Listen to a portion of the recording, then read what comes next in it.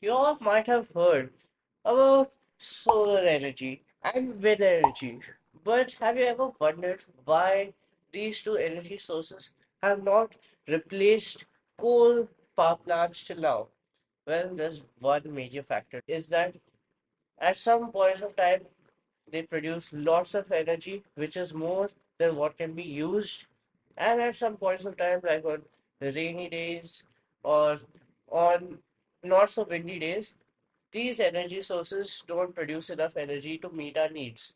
So today we have made a prototype model which is going to tackle this problem. So here we have a hospital and a hydrogen power station.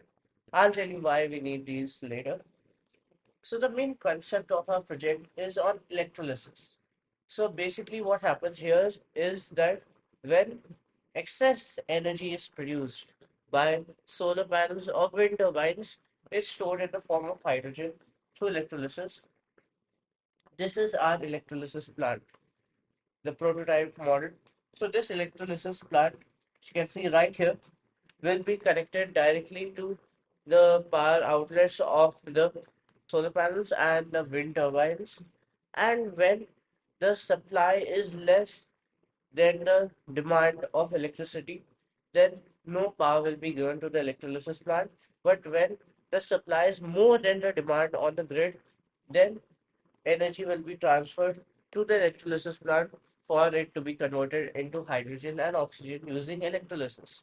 So what we'll be doing with the hydrogen here is we'll be transferring it to the hydrogen power station, which will fuel the cars in the future, which will be hydrogen uh, driven, and the oxygen will be sent to the hospitals after converting it into medical grade oxygen.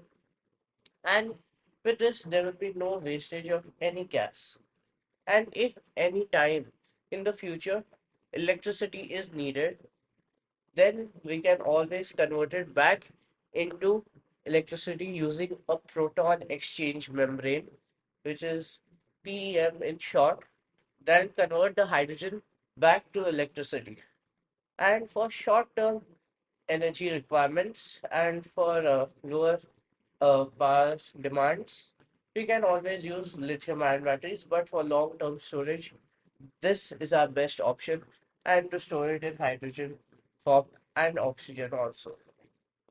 So here are some advantages of this technology over our current technology that's lithium ion batteries. So currently we use lithium ion batteries which have a very short lifespan and once their lifespan is over then they mainly end up in landfills and they can't be recycled that much. So this technology helps so that we don't have any lithium ion uh, pollution.